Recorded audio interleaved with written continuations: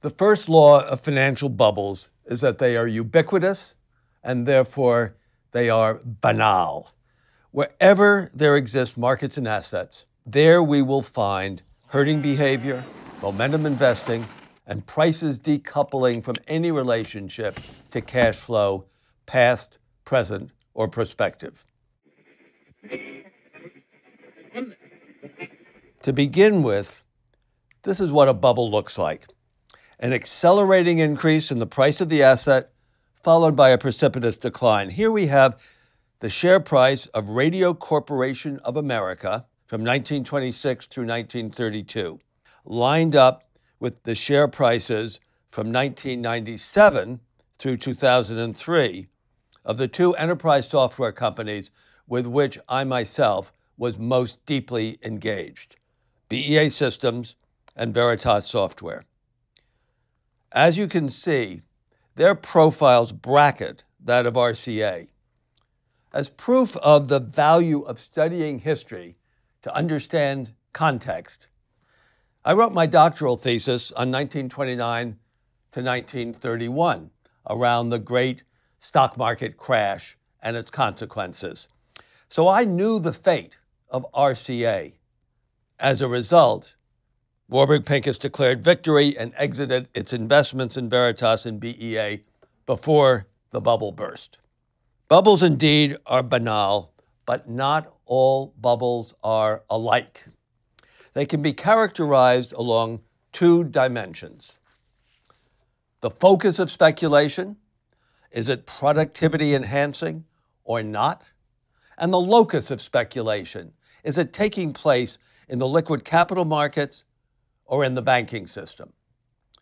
In the upper right hand quadrant of this chart, the dot com telecom bubble of the late 1990s funded both the build out of the infrastructure of the internet and the first wave of Darwinian exploration of what it was good for. When it burst, the economic consequences were limited and contained within the scope of conventional policy. But now in the lower left hand quadrant, the credit bubble funded beach houses in the Nevada desert while infecting the core banking system that provides working capital to the regular real economy of production, employment, consumption. When it burst, the economic consequences were devastating. It is the degree of leverage that makes the difference about the locus of speculation, the extent to which assets are purchased and carried with debt. This recent and exhaustive empirical analysis of equity bubbles versus credit bubbles across the developed financial systems over more than 100 years sets the context for understanding the difference between 1998 2000 and 2004 2008. As for the focus of speculation, it seems it can be anything tulip bulbs, bitcoins, cannabis stocks, any tradable asset can be the focus of a bubble. Now we're going to take a rapid stroll through the history of bubbles, including the productive ones. First, when London was the central capital market of the world, and then in the 20th century, when New York supplanted it. Financial bubbles and financial innovation go all the way back together. Tulip futures were traded in Amsterdam in the 1630s, preceding the equity derivatives that were traded in London in the 1690s during London's first full born bubble. For some 300 years, the South Sea bubble has been iconic. Behind a bubble, we can usually find a plausible story. In the case of the South Sea bubble, it was the possibility of taking over trade to Latin America from the decaying Spanish Empire. A century later, the bubble of 1825 first defined the role of the central bank as lender of last resort, as set forth in Bagehot's Lombard Street. With historic irony, this bubble, a hundred years later, was substantially caused by the fact that the Spanish Empire did finally collapse. The model for productive bubbles, bubbles like 1998 to 2000, was established by the financing of Britain's railway network in two phases. The little railway mania of the 1830s, followed by the great railway mania of the 1840s. The left hand panel shows the index of stock prices of companies approved by Parliament to build a railway. The right hand panel shows the actual real investment in constructing the lines. Note how the real investment lags the speculative spike in the share prices. And when the bubble burst, many of those companies went bankrupt. Most of their investors lost money, but no one pulled up the railway tracks. London investors had barely recovered from the domestic railway mania when they had the chance to repeat the exercise across the Atlantic. In this instance, state subsidies, both debt guarantees and the gift of public lands to the railway promoters, supported the speculation. Through the rest of the 19th century, a decade did not pass without a speculative bubble. 1863 4, 1871. Trollope's The Way We Live Now, centered on this bubble in 1871, is the existence proof that literature is an essential assist to understanding history and extracting meaning from it. A decade later, the City of London had its first brush with the new technological frontier, electricity. Note the 133% first day pop in the share of the Brush Electric Company. This is the subsidiary of an American company founded in Cleveland, which brought street lighting for the first time to the United Kingdom. That pop compares favorably with the hottest IPO of New York's tech bubble more than a century later. But London was burned and retreated back to basics gold mines. Investment in deep mines did depend on innovative technology, but production of gold did nothing to stimulate productivity more generally. And when the first automobile companies went public in London, it turned out that they were led by a con man. David Kynaston, the great historian of the City of London, asks and answers the strategic question Did it matter that by far the most important financial intermediary in the early history of the British motor car industry was a crook? The answer is surely yes. The analogy with the electrical industry following the catastrophic brush boom of the early 1880s is painfully obvious. At the same time as London was retreating from financing new technology, Wall Street was opening up to innovation. Autos, radio, aviation, electric utilities. Did this shift in the center of financial focus play a role in the transfer of leadership more generally from the UK to the US? I think it did. Radio is a key example of a mission driven state initiative sponsoring new technological innovation. Under its activist cabinet secretary, Herbert Hoover, yes, the president blamed for doing nothing eight years later in the Great Depression, Herbert Hoover, Secretary of Commerce, joined with the United States Navy to create RCA as the American national champion with access to a pool of U.S. patents capable of competing effectively versus the UK's Marconi patents sponsored by the Royal Navy. But the most economically significant focus of speculation in the 1920s was electrification. Electrification depended upon a different sort of state intervention implemented in the United States at the state and local level. Given the enormous capital cost of constructing generating stations and distribution grids, and the zero cost of the incremental electron, electric utilities needed sanctioned monopolies to protect themselves from competition that would drive price down to marginal cost and eliminate any possibility of profits. In return for those monopolies, the utilities accepted regulation on price and rate of return. Altogether, the scale of equity financing during the 1920s was unprecedented and remains unmatched. John Maynard Keynes provides a compelling summation of the productive economic effects of the 1920s boom. There can, I think, be no doubt, he wrote, that the world was enormously enriched by the constructions of the quinquennium from 1925 to 1929. The expansion centered around building the electrification of the world and the associated enterprises of roads and motor cars. The capacity of the world to produce most of the staple foodstuffs and raw materials was greatly expanded. Machinery and new techniques directed by science greatly increased the output of all the metals, rubber, sugar, the chief cereals, etc. This was indeed a productive bubble.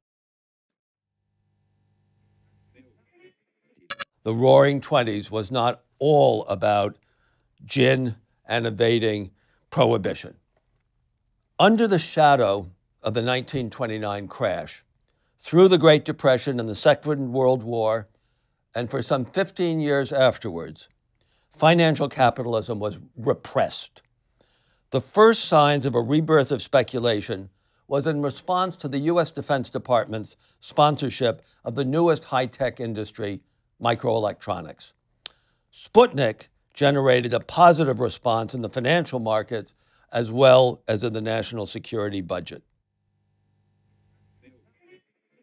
The last quarter of the 20th century was dominated by what George Soros terms the super bubble that began with the defeat of oil price driven inflation in 1982 and carried through to the global financial crisis of 2008. It was the combined result of three fundamentally new factors big government, modern finance theory, and computerization. Let's start with big government. This chart shows the share of state spending in national income of the four most important economies. The two spikes are the two world wars.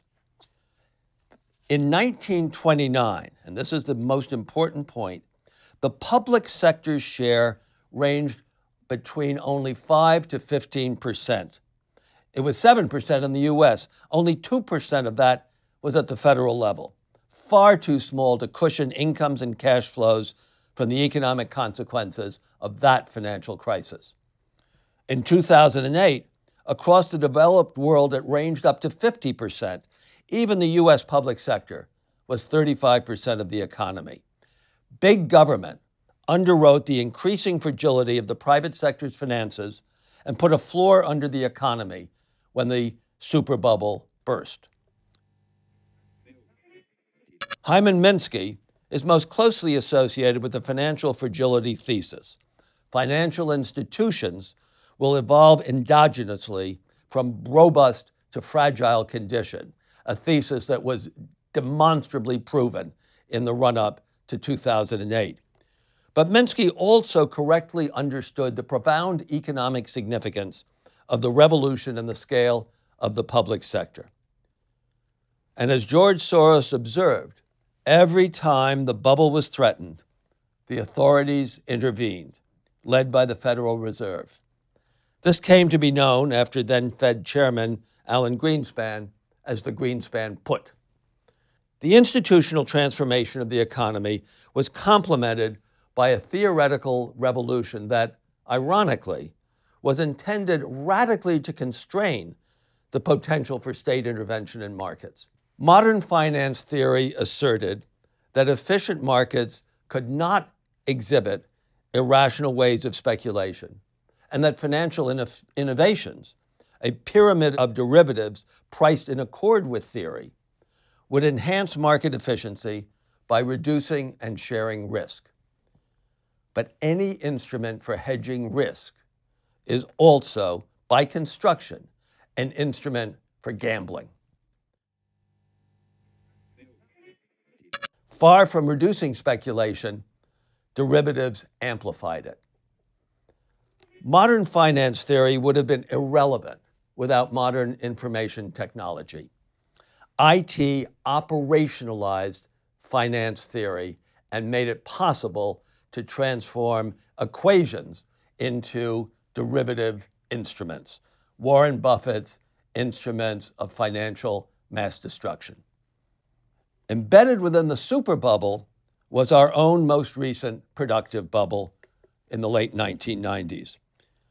The research and development boom that it funded was distinctly concentrated in seven high tech sectors and accounted for almost entirely by companies that were less than 15 years old. Note here the eightfold increase of cash flow for these companies, fueled by new share issues and devoted to research and development. Even after the bubble burst in 2000, the stock of cash raised cushioned the decline in R&D. Following the global financial crisis, the world's central banks adopted unprecedented aggressive monetary policy. The unicorn bubble generated by negative nominal returns on risk-free assets, considered at some length in Lecture 3, is illuminated by the words of Walter Bagehot, longtime editor of The Economist in the second half of the 19th century, writing 150 years ago. The history of the trade cycle has taught me that a period of a low rate of return on investments inexorably leads towards irresponsible investment. People won't take 2% and cannot bear a loss of income. Instead, they invest their careful savings in something impossible a canal to Kamchatka, a railway to Watchet, a plan for animating the Dead Sea. The literature on the dynamic relationship between financial speculation and real investment is limited but growing. An early approach that struggles to stay within the confines of neoclassical assumptions is here. The authors conceptualize a game played between entrepreneurs and speculators, akin to Keynes's beauty contest, but extended to the real economy. Irrational exuberance is the term that Robert Shiller, Nobel Prize winner, applied to the growing tech bubble of the late 1990s, more than three years before it peaked. Note the author's obeisance to the neoclassical gods, represented by their repeated use of the phrase as if. They correctly assert that the effects are likely to be stronger during periods of intense change. But the information, the information is not dispersed, as they put it up here. The information does not exist. Only after the realization, only after the investments are made, can the information be discovered. Ramana Nanda and Matt Rhodes-Kropf have pursued a research program that focuses directly on the way that a bubble stimulates the financing of new, innovative companies. They begin by adding to the set of risks facing every startup technology risk, market risk, management risk, another one, financial risk. Nanda and Rhodes-Kropf identify a potential coordination failure in time between the present and the future when procedurally rational investors are unable to collaborate effectively in mobilizing the capital needed to get to that promised land of positive cash flow. And the effect will be most negative on the more experimental startups. More than 15 years before their paper, I had played a leading role in constructing a way to escape the no invest equilibrium that they had defined in theory. Our line of equity financing model proved hugely successful in funding what became half of Veritas software and all of BEA systems.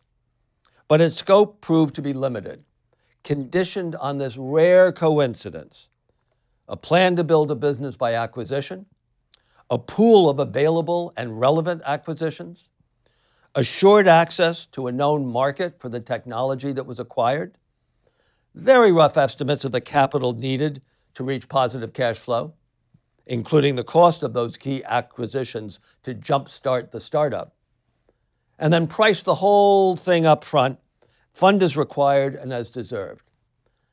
This was invented to fund IT startups in the 1990s when all of those conditions were available.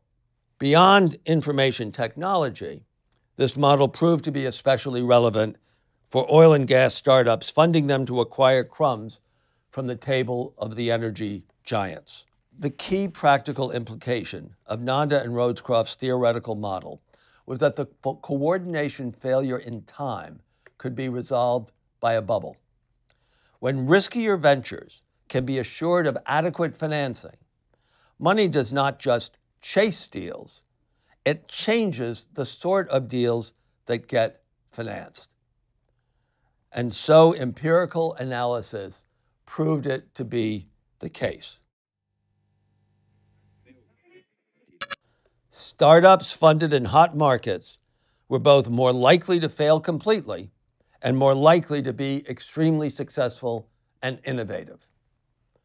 A recent paper confirms these empirical findings through a somewhat messy attempt to calculate overvaluation relative to fundamentals by using investment analyst forecasts and market movements driven by mutual fund redemptions.